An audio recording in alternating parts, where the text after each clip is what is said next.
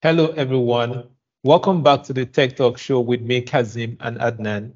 Today, Adnan and I are going to be recording this special episode for Microsoft Learn Learning Hub to recap some of the exciting announcements from this year's Ignite. Uh, my name is Kazeem. Uh, what's up, Adnan? Hi, Kazeem. Doing well. Just so much new things coming from Microsoft this past week. But, but Adnan, Ignite uh, was in person last year and also this year. So I want to start by getting your take on which is better. Is it better to be there in person or attend remotely? Well, well, personally, Kazeem, it's uh, for me. It's always better to be there in person. You know, seeing uh, new and old friends, and also especially those product teams at Microsoft. And I can tell you, unfortunately, I couldn't make it you know, feeling bad about it, but I was following all the news uh, live from uh, my home. So it meant like late nights. Uh, unfortunately, I had a lot of work uh, to do, which is one of the reasons I couldn't go. But I, I hope to be the next time. Um, I think one of the cool things of also attending remotely is that um, you have a better grasp of some of these new announcements, it's easier for you to catch up with them. Uh, you know, you can easily tune to the session that catches your interest. Yes, I know, just like you mentioned, there are some other cool benefit that comes with being there in person, you know, so you can get to network, meet with old friends, and some of those other cool stuff. But but but Adnan, it, it's really sad, right? For me in person, that I've mm. never attended, uh, you know, any of the Ignite uh, events in person. So I'm also hoping that next year I can be there in person at that. Well, definitely, man. You know, uh, some a goal for both of us because I used to present at Microsoft Ignite uh, when we still used to have these live multi-day uh, conferences uh, all over the world, and it was always the most important event of the year and just like this past uh, few days, it, it still is, uh, although in a smaller format. But um, it's it's always been my guide and direction for um, you know the future direction that the work and the technology is taking us. Yeah, yeah. And I've I've been with Microsoft now. You know, I've got a relationship with Microsoft for 28 years. So uh, it's still going strong, Kazeem. Yeah, that's getting close to three decades, Adnan. So, so Adnan, Microsoft has unveiled some game-changing innovations, you know, at this year's Ignite, and we're just going to jump into some of these new announcements. Of course, it's impossible to cover all of the announcements, right? Mm-hmm. So we'll just be focusing on some of the uh, Azure and AI announcements. So let's start with you, Adnan we'll hmm. start mm. with Azure first and we can look at AI next. So Adnan, which of the announcements caught your attention? Well, to to start off with, you know, we we in the AI generation now, Kazeem. It's it took us a while, like you said, three decades almost. And uh, for me, uh, firstly, Microsoft still being a game changer with uh, bringing out their own Microsoft hardware, those new uh, designed for AI workloads uh, processes like the Maia 100. Today, we're announcing our first fully custom in-house AI accelerator, Azure Maia.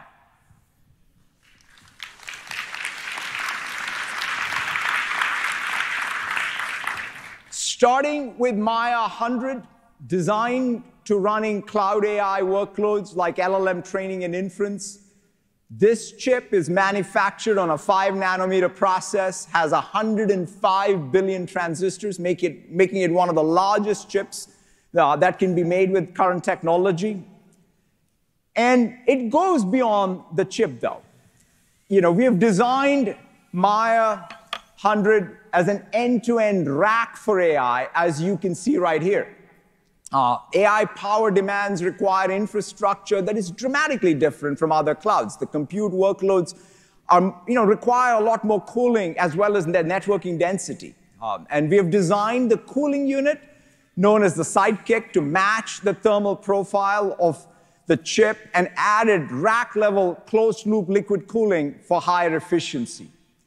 This architecture allows us to take this rack and put it into existing data center infrastructure and facilities rather than building new ones. And then, yeah. like I said, AI generation. So we need to, if you're not busy with AI yet, in some way, form, or the other, uh, yeah. on the one side, you want to create your own AI, personalized to your own business using your own data. So the nice thing, uh, since I'm already dabbling in creating and making AI, uh, Microsoft made it easier with their own AI platform, the Microsoft AI Studio. So th- with that, you can tie into machine learning models, and you can go and design, build, test, create your own AI on the Azure uh, platform with AI Studio. And then for me, I would say you've mentioned one of the hardware, right? Uh, mm. That's uh, you mentioned the Azure Maia, and uh, I know Azure Cobalt was also announced. Azure Cobalt was the first CPU designed by Microsoft, and uh, it's tailored to run general purpose compute workloads, you know, in the Azure, in the Microsoft cloud. Thrilled to introduce our very first custom in-house CPU series Azure Cobalt, starting with Cobalt 100.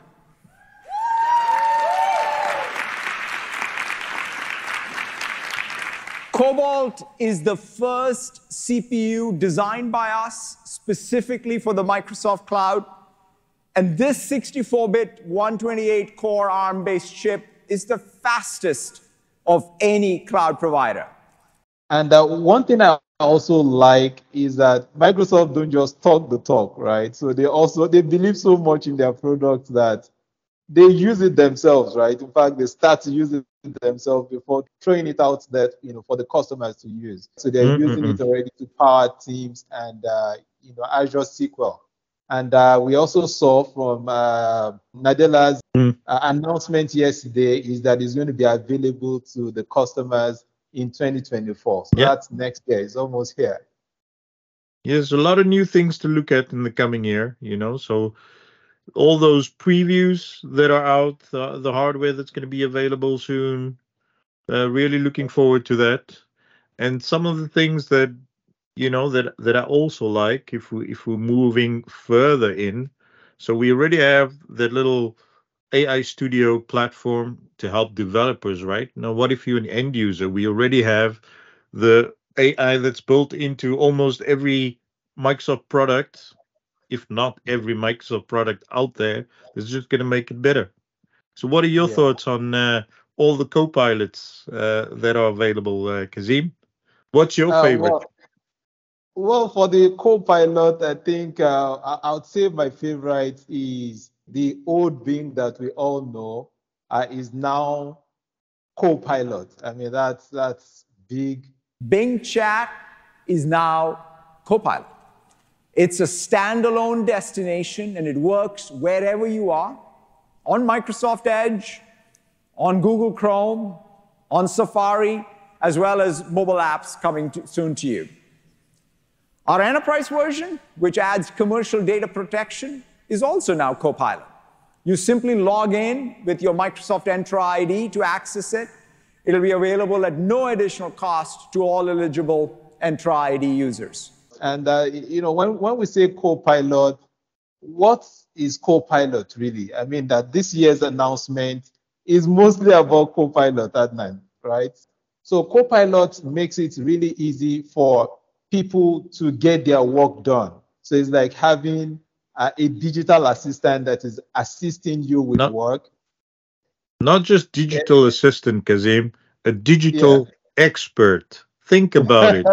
a normal user with one of you or me right next door, you could say, and they just ask in normal language, you know, uh, what do I need to do if I have X or Z and what is the outcome of something if I have this scenario, you know? So it's going to be a big game changer. Already, a lot of people that are already on the platform and using the co-pilots, they can't do without. So it's just going to improve uh, productivity.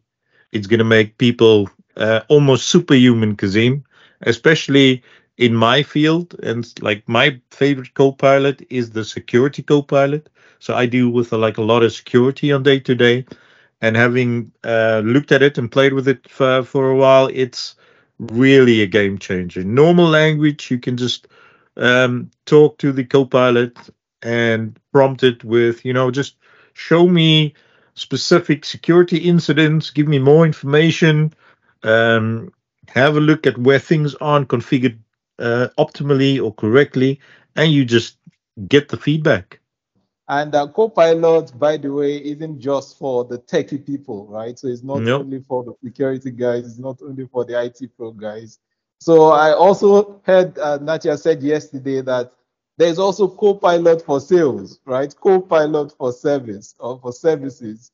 So Microsoft now is really making it very easy for people to even make more sales. In fact, we're already using this pattern to extend Copilot across every role and function. Uh, for developers, GitHub Copilot is turning natural language into programming language, helping them code 55 times faster. Uh, for, for SecOps um, teams, Copilot is helping them respond to threats at machine speed. In fact, this week we're adding plugins for identity management, endpoint security, for risk and compliance managers as well. For sellers, Copilot is right there helping you close more deals, whether you're in responding uh, in email or in a Teams meeting. You can enrich that customer interaction by grounding the Copilot with your CRM data, whether it's in Salesforce or Dynamics 365. And for customer service teams, today we are very excited to announce Copilot for Service to help agents resolve, uh, you know, resolve the cases faster. And exactly. the best thing, Kazeem, yeah, the uh, the Copilot's already built into all the Microsoft uh, pr- products that's been announced. You'll be able to go and create your own. Wow, based that, on your own data and tailor made it with the Copilot Studio. We're announcing Copilot Studio. You know, with Copilot Studio, you can build custom GPTs, create new plugins, orchestrate workflows, monitor, in fact, your Copilot performance, manage your customizations, and much, much more. It comes with a bunch of pre-built plugins to incorporate your own business data, as well as from applications such as SAP, Workday, ServiceNow.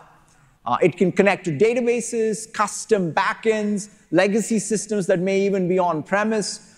All of this allows you to extend Copilot with capabilities unique to your organization and the systems you use every day. You mentioned the AI Studio, right? But mm-hmm. perhaps for people who weren't familiar uh, with AI Studio, wondering what AI Studio is all about, I believe people have heard about the mm-hmm. Open AI. So there's OpenAI or Azure OpenAI services. Yeah. So Azure OpenAI services comes bundled with features to include ChatGPT 4. There's ChatGPT 4 Turbo with Vision. There's mm-hmm. DALL-E 3 and fine tuning, Adnan. So that was also announced. I mean, what people used to know is ChatGPT. Uh, we had ChatGPT 3.5. We've had ChatGPT 4. So now mm-hmm. we're having ChatGPT 4 Turbo, Adnan.